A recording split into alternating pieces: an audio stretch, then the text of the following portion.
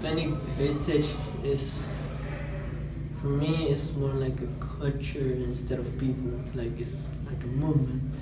You cannot have like Hispanic but, but you're still Hispanic as long as you, you know know the culture and you feel like one.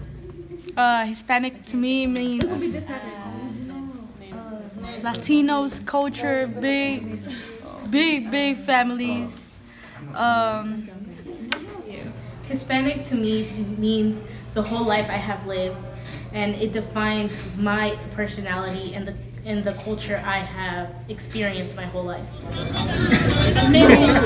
Hispanic heritage means to me, I guess, just having fun, or uh, I guess Mexicanos or Latinas coming together, uh, having fun, or white mitzvahs. No, no, no, quinceañeras. I What does Hispanic mean to you?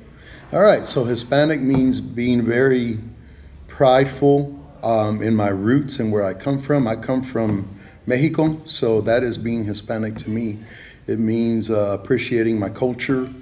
It means appreciating my people. It means uh, being proud of where I'm from and where I've come from.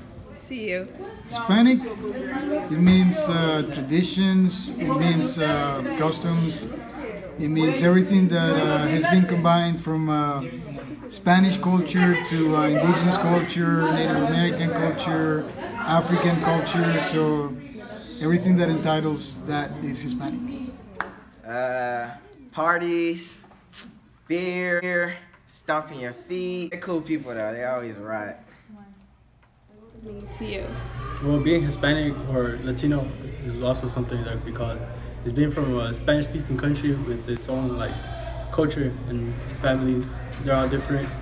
Mexico, they have many different cultures. Dominican Republics, people from Central America. They're all different types of people that are under the same name of Latin, or Hispanic, and we're just here to represent or try to represent those different types of cultures.